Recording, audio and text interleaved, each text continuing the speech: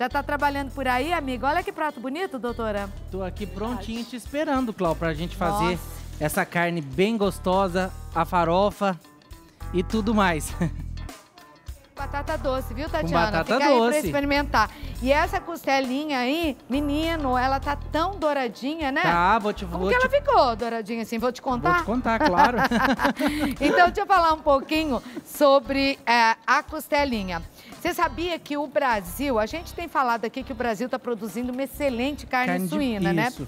E ele, gente, alcançou um número recorde de exportação da carne de porco em novembro. Sabe quanto? Mais de 940 mil toneladas. Muita é coisa. porco que não acaba mais, não né? acaba mais. Teu pai vendeu lá? Deve ter vendido. Bastante, Exportou. graças a Deus.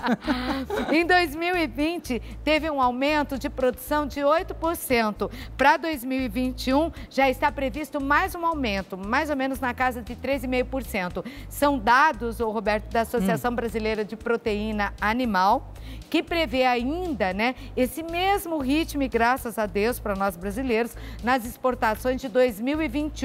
A projeção é de um aumento que varia entre 4,9% e 10%. Que Ou beleza. seja, vou fazer as continhas para você.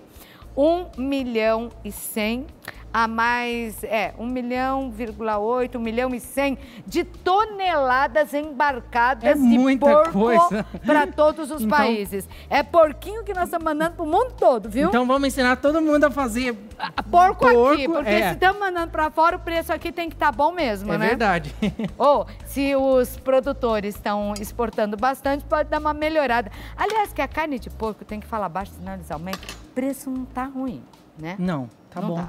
Tá preço E agora tem uns cortes bacanas, tem é, costela, não só a costela que você vai fazer hoje, tem a picanha, Tem, a- tem o filé mignon. tem, a- tem a picanha, tem o mignon e tem outros cortes mais finos. E dá pra trabalhar é. com todos, né? O prime, Então. dá pra trabalhar com todos. Bom, mas hoje nós tipo. vamos de costelinha que é boa, gostosa, barata, tá? Isso Como é aí. que se faz? Você Vamos- vai começar por ela? Vou começar por vai, ela. Né? Vamos lá, tá. Ou você quer começar pela farofa e depois a gente... Tanto faz. Não, vamos temperar? Vamos, vamos e ela deixar vai lá pegando no um tempero, gostinho. é melhor. É, Que aí a gente já faz de verdade, já come, É né? verdade. Se você estivesse aqui no nosso lugar, você não comeria? Dá vontade, não dá? Ah. Aí a gente enfia a boca mesmo. é. É, dois quilos e meio de costelinha de porco. E assim, ó, em ripa. em Alguns ripa, em lugares fala fita, em fita, né? tiras. Aqui a Olha, gente fala aqui, ripa.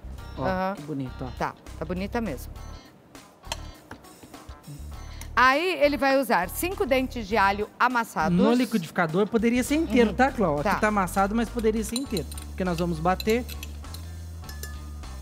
Vamos dourar essa carne antes lá? Vamos dar uma selada nela? Mas vamos, Vamos? vamos. Vamos? Porque, eu- nossa, esse cheirinho vai invadir Claro. aqui a TV. Traz aquela pranchona lá pra gente, sabe? Aquela lá, Lu. Você viu? A Luana tá toda bonitinha hoje. É. De novo, tá caprichando o visual. É, Luana, Luana. é a nossa chefe da cozinha de apoio. Sal e pimenta do reino. Luana, por favor, passe por aqui pra gente ver sua elegância. Lá vai a Luana para a cozinha de apoio. Traga lá aquela grandona que eu gosto, sabe? É que aqui tem uma cozinha de apoio aqui atrás.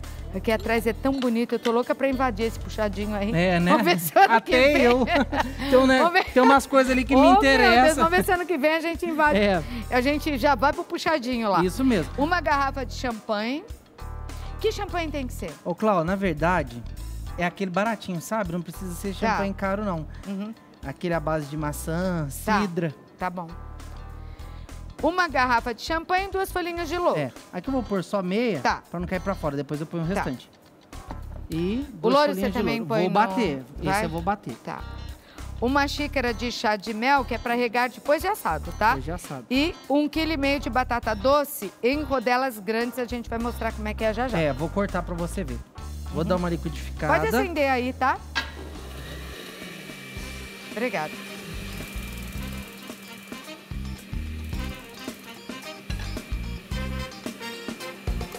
Você bate aí?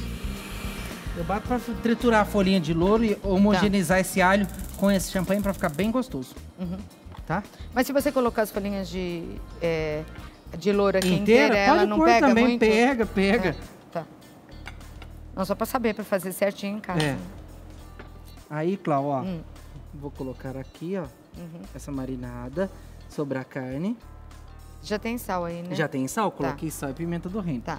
Aí vem com o restante. Vamos falar de novo sobre o cálculo de sal? Eu acho tão importante porque tem gente que ou casou agora, não tem muita experiência, está se apaixonando pela cozinha agora, porque cozinha vicia, viu?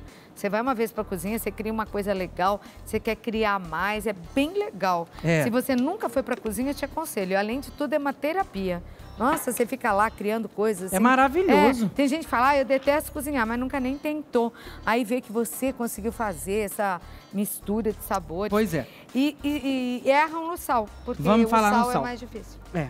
Clau, sempre uma colher das de sopa rasinha, rasa. Uhum. Vou mostrar aqui pra você. Uma colher de sopa rasa é isso daqui, ó.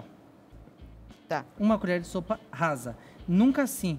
Isso daqui dá quase três colheres, tá. Pra cada quilo. tá? Pra cada quilo de carne, seja carne suína, bovina, qualquer tipo de carne. Ela vai Sempre- dormir nesse tempero? Não precisa dormir, umas três horas nesse tempero já tá bom. Aí, Clau, a carne tá marinada. Uhum. Agora eu vou colocar um pouco de azeite aqui na nossa chapa. Uhum. Essa carne que você tá marinando, muita gente, é lógico, não podemos com aglomeração, hein? Todo cuidado é pouco, principalmente agora. Mas, ô Roberto, É. a pessoa que tem em casa uma churrasqueira e quer fazer na churrasqueira, é possível? Pode, com Tá. certeza. Uhum. Fica ótimo. Aí tem que embrulhar, só coloca na Eu vou grelha te- mais pra Vou cima. te explicar, não, é Tá. bom embrulhar, viu? Tá. Você embrulha pra ela dar aquele cozimento bem bacana e depois Uhum. desembrulha pra ela dourar, Clau. Tá. No papel alumínio mesmo No ou papel aquele... alumínio. No alumínio, eu No prefiro alumínio. Tá. Essa marinada eu vou deixar aqui, que daqui a pouco você vai ver o que que nós vamos fazer com ela. Nossa, como ela fica bonita assim, Olha, né? Uhum. Clau, bonitinho. Você sabe quando a gente sela a carne, vou explicar pra você. Quando a gente sela a carne numa chapa quente, numa frigideira quente, você fecha as fibras dela, permanecendo dentro o suco, a aguinha, o caldinho, resultando no final aquela carne macia e suculenta. Melhor do que colocar no É. forno ela. Você lembra quando eu assim. falo pra você, Clau, quando nós vamos assar um pernil grande no forno e tudo mais, eu falo, primeiro doura pra depois cobrir? É. É. o- seria o processo da chapa. Vamos preparar a carne para o forno? Vamos, vamos. Você tá usando aqui batata doce. O que, que você já fez com as Eu vou batatas? fazer agora, Clau. Por enquanto ela tá só higienizada. Ah, então, mas você já higienizou. Isso, bem lavadinha. Aqui. Bonitas, tá? né? Aí eu venho aqui numa Nossa, sa- que batata doce pesada. É, Quantos quilos de batata doce tem aqui? tem quase Pesada. dois. É, tá pesadinha a batata doce aqui, viu? pois é. Aí, Clau, a gente... Vou te mostrar o que eu faço Hum. com essas batatas. Foram lavadas em água corrente com buchinha e sabão neutro, tá? Detergente neutro, bem enxaguado, porque nós vamos trabalhar com casca. Então a gente tem que ter esse, Esse cuidado, Da, da higienização. Aí eu tiro a pontinha. Vamos Né? mandar um beijo aqui? Pra quem é o beijo? Ah, para duas pessoas. Na verdade, vamos mandar para um casal primeiro, que é para dona Dirce e para o seu Gustavo, que são os pais da Andréia. Ela sempre está Beijos. nos assistindo. Obrigado pelo seu carinho, tá? Eu tô cortando na diagonal, que eu acho que fica um corte bonito, olha. Ah, é mesmo, hein? Sempre na hora, E tá, uns dois dedinhos, E uns assim. dois dedinhos. Tá. Sempre na hora, para De ela levar não ao forno. É, de levar ao forno para E ela é não... crua que ela entra? Crua! Ela entra crua, ó. Vou cortar todas para fazer a nossa assadeira bem bonita. Uhum. Olha. Eu já tô até com vontade de comprar uma assadeira dessa, de tanto que eu tô vendo aqui no programa. de tanto que eu uso, né? Ah, é? Não preciso lavar louça. Eu gostei desse negócio. Eu, go- eu gosto dessa assadeira. Olha que bonito, olha que fica. E é uma guarnição bacana, diferente, né? É, olha, Porque dois não, dedinhos. Aham. não precisa colocar sempre a Não. batata inglesa. mesmo batata tipo doce batata. fica muito mais É, saboroso. é. E a moçada gosta É. mais. Tem jovem em casa, então pois é. Aí, Clau, ó, Ah. coloquei as batatas, venho com aquela marinada do champanhe, ó. Que é o que vai dar sabor, que vai dar inclusive sabor nas temperar batatas. as batatas. temperar né? as batatas, olha. Aí você cobre? Não. Agora não. Não. Não, porque... Leva com é, foguinho baixo. Levo com foguinho baixo, 180 graus. Rego com um pouquinho de azeite pra ficar... Nossa, que bem tempero gostoso. cheiroso, né? É. E vamos deixar ela assar até ficar bem douradinha e macia. Uma hora e meia, duas horas, Foguinho 170, 180, Vigiando. vigiando. E de vez Tá. em quando, deu uma viradinha, pega a costelinha aqui, vira, vira as batatas, pega, faz assim, ó, Tá. com, com garfo, né, Com garfo, claro. né? Pra não queimar a é mão. verdade. E vai Tá ficar bom. ótimo.